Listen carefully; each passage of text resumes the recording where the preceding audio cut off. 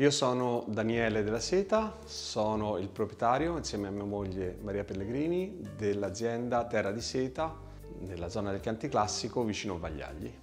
La cosa che mi piace di più per, uh, per fare il vino in realtà è, è poter vivere uh, nell'azienda dove, dove lavoro perché è un posto magico, eh, il Chianti Classico di su è un posto magico, l'azienda è un posto stupendo con una vista eccezionale, si affaccia su Siena, sembra veramente di, quasi di poterla toccare, ha una vista eh, da tutti i lati, eh, quindi che domina l'area. Eh, mi piace veramente svegliarmi la mattina eh, in, questo, in, questa, in questa campagna